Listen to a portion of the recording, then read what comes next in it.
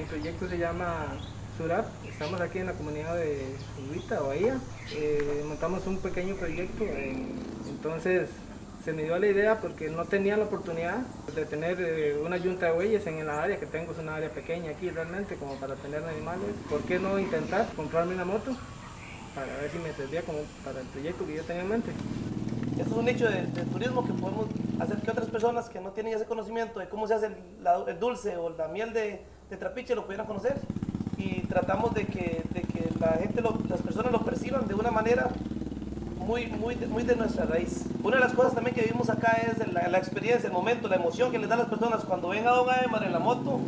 Algunos voluntarios dicen, yo, yo quiero hacerlo, puedo hacer. Ponemos el casquito, lo montamos en la moto y lo que hacen es disfrutar el ride. El meter la caña, el ayudar a meter la caña en la parte del trapiche, el, el, el poner el vaso, el ver cómo se está prácticamente desbordando ese jugo, esa, esa cosa esa tan delicioso que está cayendo en ese vaso.